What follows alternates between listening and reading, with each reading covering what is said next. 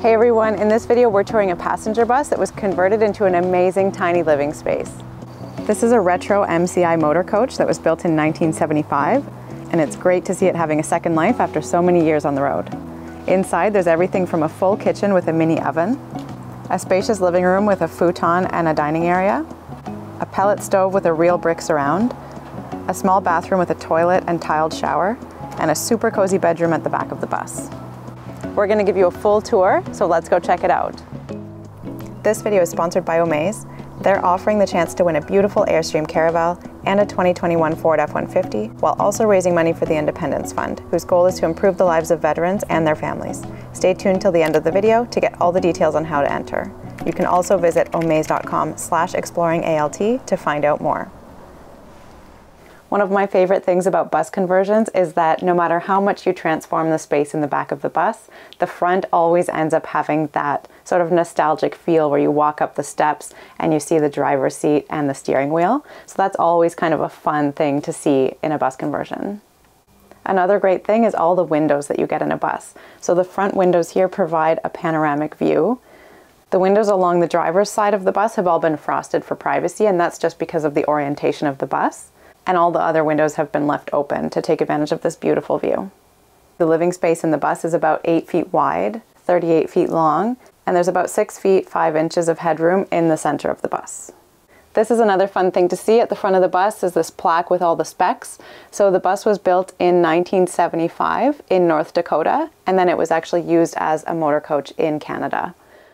When you first step up into the living area, there's a futon here, and it can fold out into a guest bed. There's a dresser and a small side table for storage. I love the wood ceiling in here. It's all cedar paneling and it really accentuates the curve of the bus roof. And then just along the top of the window line on both sides, there's bookshelves for extra storage. The living room is quite minimalist. There's not as many, you know, chairs and side tables as you would see in other living rooms. I think part of that is they wanted to keep it simple and make sure everyone who was sitting here had a beautiful view of the water. Another reason might be that buses are quite narrow and you don't necessarily want to have furniture on both sides because you want to kind of keep an open walking area through the whole space.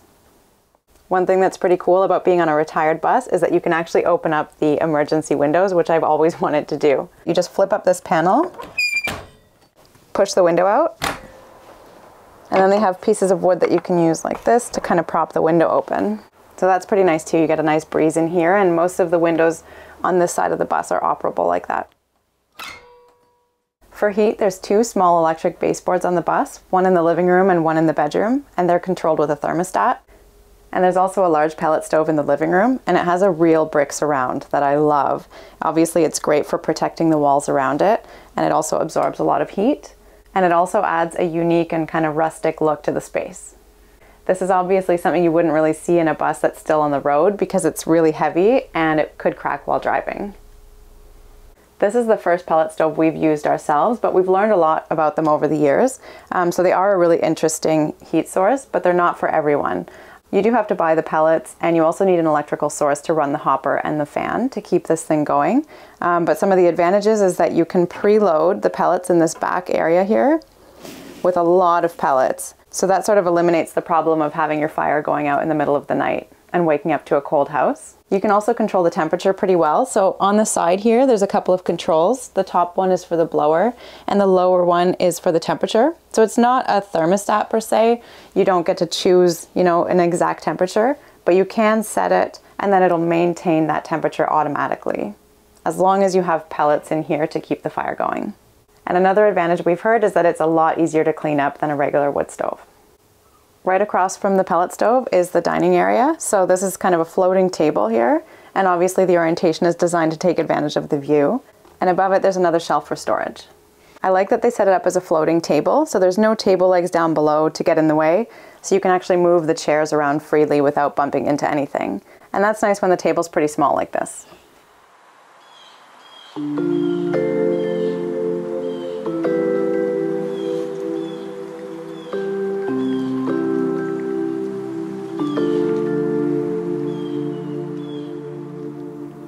Now we're in the kitchen and I absolutely love this space. The counters are glossy and it looks like they're coated with resin. The corrugated metal backsplash is pretty unique and it really reminds me of the look of the outside of the bus. And there's a brick accent wall at the end that goes around the cooking area, and it really ties in nicely with the brick around the pellet stove. This is a tiny kitchen, and so naturally all the appliances are pretty small. Right here, there's a tiny oven.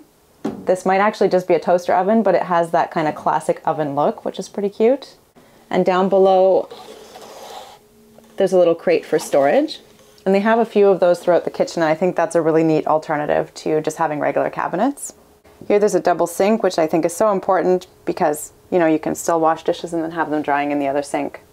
Up here there's an open shelf for all the dishes and glasses here. Another tiny appliance here, there's a freezer and fridge.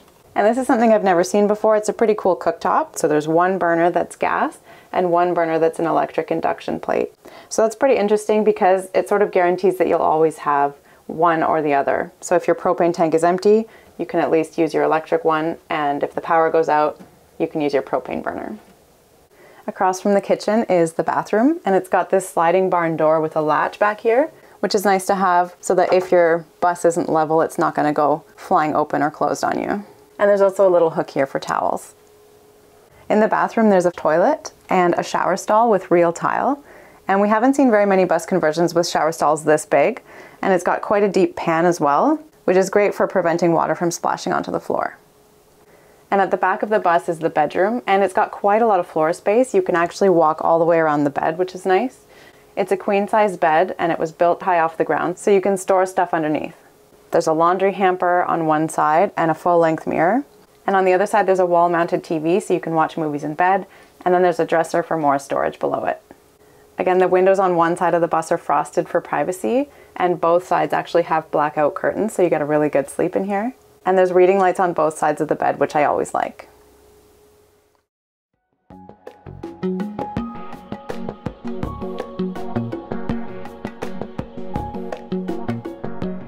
A really cool feature of converting a passenger bus like this is that it has those huge storage lockers on the outside where they used to store people's luggage when they were traveling. And so you can actually use those as a garage or kind of a storage shed. So lots of extra storage on the outside. Where this bus is parked, they've built a really nice deck out front, and so you have extra outdoor living space as well. It's fascinating to see a bus like this that's over 45 years old being repurposed into a living space. So even though the engine isn't quite up to snuff for being on the road, the actual shell of the bus is in pretty good shape. And it's a great starting point for building a space. You've already got a roof, walls, windows, and a floor. So all you really need to do is insulate, wire it, and finish the interior. There are challenges to building in a bus like this. The body is metal, and that can create issues with condensation when the temperature is different on the inside and the outside. So that's definitely something to think about. Another issue is that these buses are huge, so if the engine isn't working, they can be tricky to get onto your property and to get into place. And then like any other trailer or tiny home that's on wheels, you get wind going underneath, and so the floor can get quite cold in the winter, so you probably would want to skirt it just like you would a trailer or a tiny house. This bus was converted by a couple in just six weeks, which is pretty impressive. They call it the Sooke Ski Bus, and it's permanently parked on Vancouver Island in BC. We'll put a link down below if you want to come check it out. We're also super excited to be collaborating with Omaze on this chance to win an Airstream Caravel and a 2021 Ford F-150 pickup truck to tow it. This is the perfect setup for road trips, camping, or even just having your own space when you're visiting friends and family. The trailer is a super cozy living space. It's 20 feet long with that classic vintage look on the outside, and all the modern amenities you need to be comfortable away from home on the inside. There's a memory foam mattress, a spacious kitchen and dinette, a full bathroom, and even a closet. And once you've set up a home base, you can unhitch the 4x4 truck and go exploring. When you enter for your chance to win, you're also helping raise money for the Independence Fund. They're committed to doing the important work of empowering veterans to overcome physical, mental, and emotional wounds incurred in the line of duty. So to potentially win the Airstream Caravel and the 2021 Ford F-150, and to support a great cause, go to omaze.com slash exploringalt. Thanks so much for watching, and we'll see you in the next video.